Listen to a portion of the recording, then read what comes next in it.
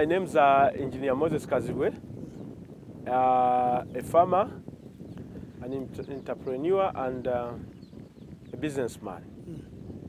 Yeah, uh, here we are is a place called Budonga Gomba in Mpenja sub-county, Gomba district of Uganda. Uh, here we do animal uh, animal keeping and and the animal feed called Guatemala, a plant that was uh, originated from uh, from America uh, 50 years ago, and and uh, somehow it had died, but now we have revamped it, uh, and here we have 50 acres of uh, Guatemala. Yes. What do you do here?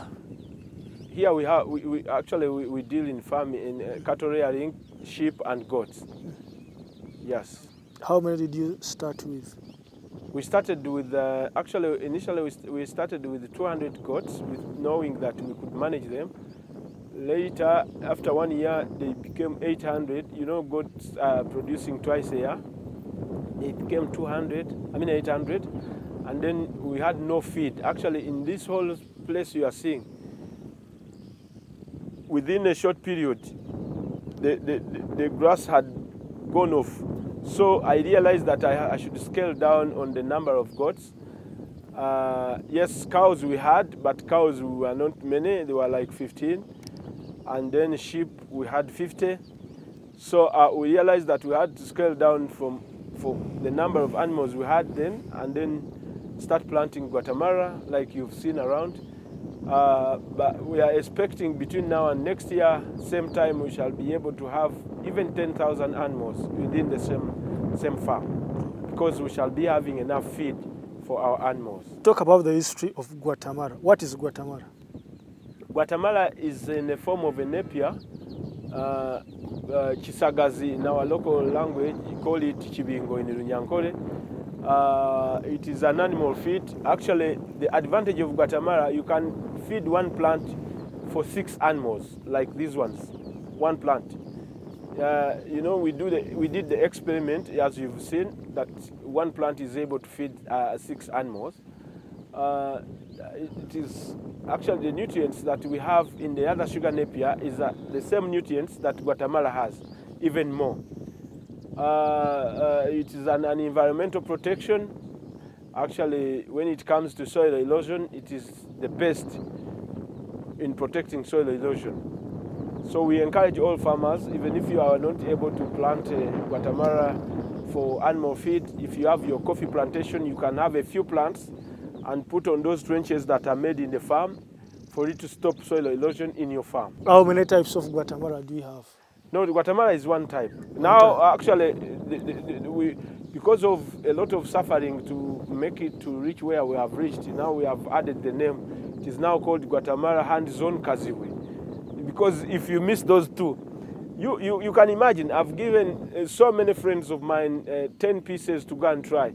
All of them comes back here and say, Moses, ah, we have failed. They, they died. How? Because it needs those three I said, Guatemala, hand zone, Kazibwe. Yeah, you, the hand zone, I mean, even, even if I give you this plant, you must keep checking on it. Is it watered well? Does it have water? Was it well planted? Like even the planting and harvesting can make you lose out Guatemala. Like this one behind you in the camera, that one, the harvester must know that as you're harvesting, you have to leave and two inch of on the on the original plant. You don't just harvest far. If you go until you finish it down, it will not uh, come back. It will just die. Okay. Take us through the planting of Guatemala. What conditions should I follow? While yeah, planting? of course, it is like any other plant. When you are planting Guatemala, you need to have water in that period. Not too much, of course, water to make it grow, germinate. And uh, uh, it loves this lower part of swamp here. If you have a swamp, I would advise you to plant uh, Guatemala in the swampy area. If you, you plant it in a swampy area, you'll be able to harvest three times a year. Each three months, you are harvesting. That is three times a year. The Uh, measurement. the spacing Yes, the is one meter from each crop. Eh? One meter, one meter. One meter here, one meter here, one meter here. Why? Yes. You see, it, it grows big actually.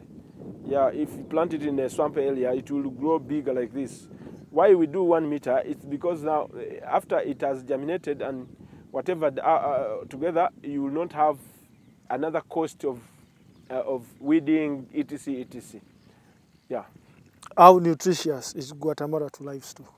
In fact, in in our past uh, episode, I told you the nutritions that uh, Guatemala has. Let me maybe repeat it. Uh, uh, you see, people keeps uh, uh, telling people a, story that Guatemala doesn't have nutrients. Crude protein, five point five.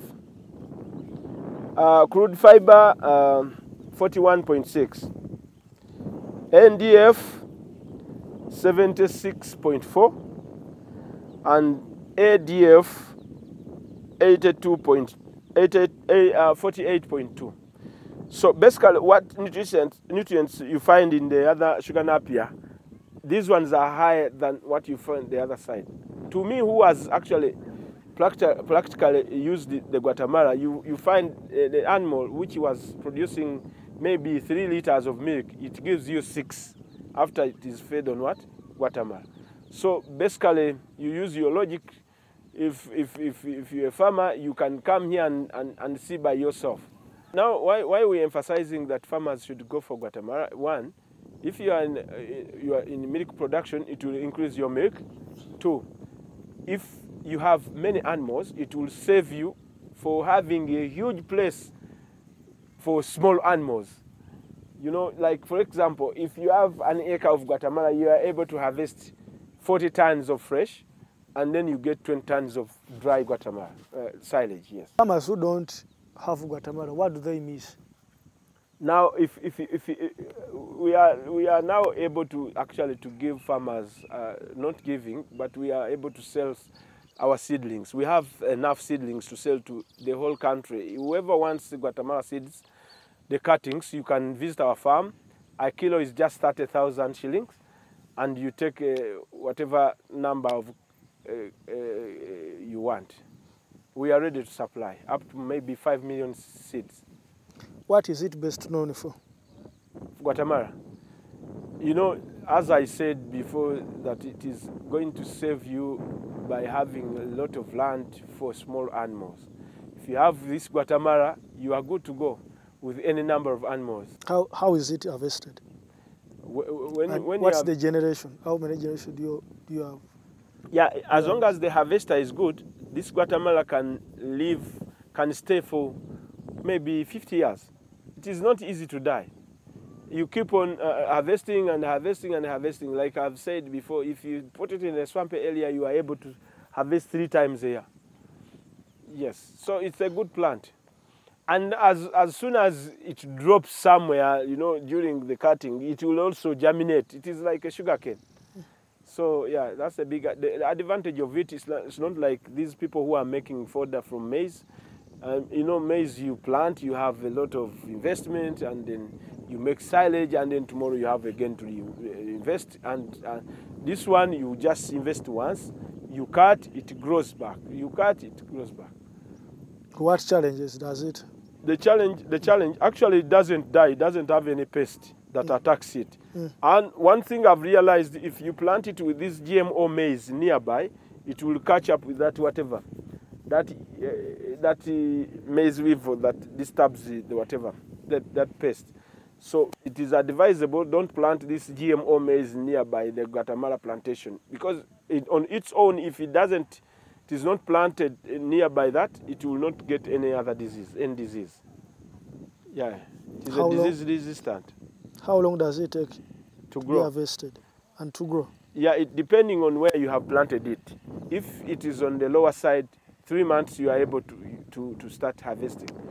If it is on uh, uh, dry land, it's four months, between four and six months. So in a dry land, you can harvest uh, uh, two times a year, but on the lower land, you can harvest three times a year. Enterprises here. How many supporting staffs do you have? We have 26 workers here for the Guatemala farm, and then we have five for uh, uh, Gonja, plantain, and then the cattle keepers are four, and then sheep we have two, and almost six, uh, almost almost 42 workers around. Do we have market for, for Guatemala in Uganda? Yeah, the market is there. You know, even people have been calling me in this dry season. People have been suffering of the animal feed. Actually, it increased from 600,000 a ton to 800. But ours is going to be ready by next year. That is when we shall be ready. How many tons do you expect to harvest? Uh, by next year, we'll, we'll, be, we'll be able to have 1 million tons of, of silage from the 50 acres. Okay. An advice to, to youths and people watching you? Uh, the youth, of course, we have been advising them, but they don't listen. You see, uh, if, if, before you sell your motorcycle to go and and and and, and, and, and flood in the city, you, you, you think think twice. Uh, you can maybe decide to do uh, half an acre of Guatemala, and you are able to get uh, uh, 15 tons, I mean 20 tons of, of fresh Guatemala, and then 10 in dry. 10 tons of Guatemala would give you how much? Let me show you here. 10, 10 times 10, 10 tons of, uh, of um, dry silage will be able to give you uh, 10 tons times 600 will be able to give you 6 million shilling. That is, uh, if you harvest twice a year, you have your 12 million shillings in a half an acre. Yeah, you, you, it it means it does sense, yeah. So, but uh, you know, uh, our youth need things which are quicker, and and and our, our elders like me are not willing to teach them. But me here I am. I will help them to inform them that you don't need to rush to Kampala. For now, that time of ours, Kampala was the best place to live in, and maybe you get something. But today, the, the village village life is better than. Uh, uh, Kampala as long as you have uh, a good plan. Yeah. Yes, you talk about coffee. Do you have coffee here? Coffee, uh, no, we are just starting. We are just starting. We have a very little coffee, but we have uh, coffee nurseries, which is around 3 million uh, uh, seedlings at our, our nursery up there. So whoever needs uh, coffee, Robusta, Arabic, and Corono, these are the three types we have here in, at MK Mixed Farm. We don't, we don't do the other, the other new types of coffee. We fear new things a lot. Here we do the ordinary things. I've just seen a, a, a, an Arabic Robusta coffee plant, plant in Kanoni there, which has spent for over 130 years at an old, old woman's home. So uh, basically, even our old coffee is good. And actually, if you grow it under trees, it has a different scent. People buy it differently. Yes. Do you face, do you face challenges of intruders here, thefties? No, we have security. Like these boys you are seeing uh, for security. We have security around and we have cameras. We have installed cameras. Uh, we have security from private security companies and yeah, they keep guarding the whole place. Okay, you take us through Aloe vera. Alvera, growing. Aloe vera, uh, we have we have almost 20 acres up there, but uh, it is now grown. Now we, we are waiting for the rains to start and then we keep uh, planting. We want to have maybe 120 acres. That whole hill you are seeing, it grows very well on a hilly place. Yeah, and um, our main purpose is between now and next year we shall have a factory processing Aloe vera toothpaste, Aloe vera gel, Aloe vera powder, and capsules. And, and, and then we do uh, uh, all products that are coming from Aloe vera, juice, etc., etc. So yeah, yeah. Okay. Those are my reasons. Okay.